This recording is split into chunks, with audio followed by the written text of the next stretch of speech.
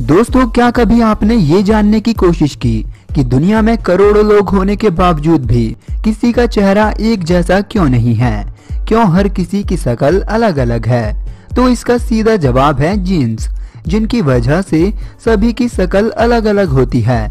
लेकिन दुनिया में कई ऐसे लोग भी हैं जो शायद अपनी अलग पर्सनैलिटी की वजह से पृथ्वी पर केवल एक ही हैं, जिनके बारे में आज मैं आपको बताने वाला हूँ।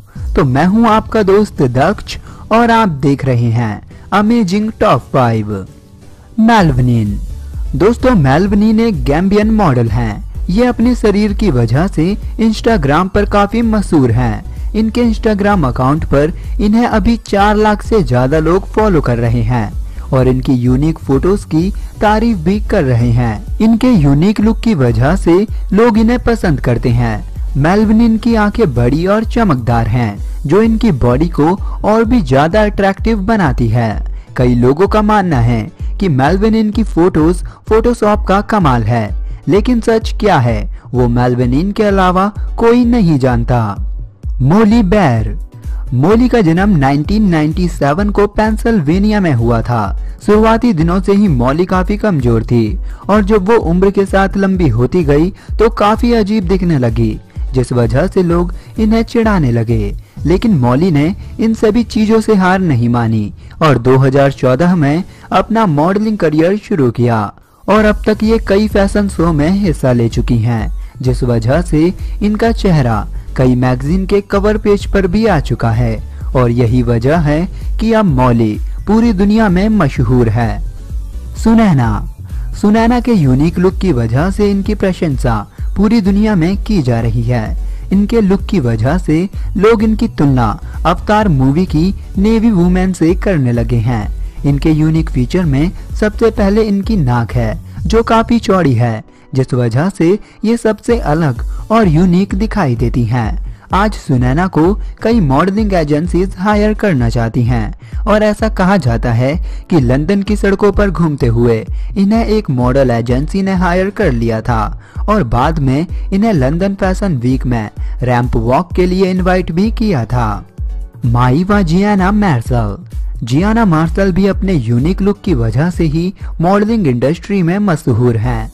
इनके चेहरे पर हाइपर पिगमेंटेशन बीमारी की वजह से निशान बन गए थे, जो इन्हें बचपन में हुई थी, जिस वजह से इन्हें खुद को संभालने में थोड़ा समय लगा।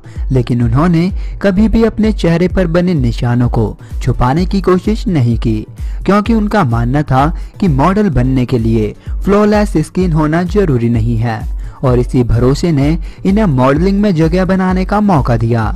इन्हें न्यूयॉर्क फ़ैशन वीक में सबसे पहले नोटिस किया गया था, जिसके बाद इन्होंने कई मॉडलिंग एजेंसीज के साथ काम किया और बहुत नाम कमाया। स्टीवन थॉम्पसन दोस्तों, इस लिस्ट में बाकी लोगों की तरह स्टीवन ने भी कभी मॉडलिंग करने की नहीं सोची थी और बचपन में इन्हें इनके अलग रंग रूप की वजह से लोग चिढ़ाया करते थे। इसके अलावा इनकी आँखों की रोशनी भी कमज़ोर थी, लेकिन उस दिन इनकी किस्मत बदल गई जब एक फोटोग्राफर की नज़र इन पर पड़ी और स्टीवन का यूनिक लुक देखकर उस फोटोग्राफर के होश उड़ गए। उसने उसी समय स्टीवन की कुछ फ़ोटो ली और बाद में ये फ़ोटो एक मैगजीन में पब्लिश कर दी और ये उनके करियर की शुरुआत थी और 2011 में ये गिवेंची फ़ैशन हाउस मैगजीन का चेहरा बने और 2016 में रिलीज़ हुई मूवी एक्सपोज्ड में भी दिखाई दिए। आज ये सोशल प्रोजेक्ट और कुछ फ़ैशन प्रोजेक्ट्स पर काम कर रहे हैं। दोस्तों, इन सभी लोगों के बारे में जानने के बाद हमें एक ही बात समझ आती है कि कभी भी अपनी ज़िंदगी में गिव अप मत कीजिए और काम करते रहिए। लोग क्या कहेंगे, ये कभी मत सोचिए, क्योंकि लोगों की सोच कर कई बार हम अपने आप को डिमोटिवेट कर लेते हैं और काम करने से पहले ही हार मान जाते हैं। तो डटे रहिए और अपना काम करते रहिए। अगर वीडियो अच्छी लगी है तो वीडियो को लाइक कीजिए और चैनल को सब्सक्राइब कीजिए। ऐसी ही और वीडियोस पाने के लिए वीडियो में आखिर तक बने रहने के लिए आप सभी का धन्यवाद।